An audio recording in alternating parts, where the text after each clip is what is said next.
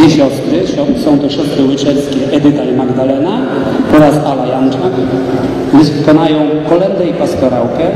Te dziewczynki zostały przygotowane przez swoje mamy. Będzie im też jako tło pomagał anioł.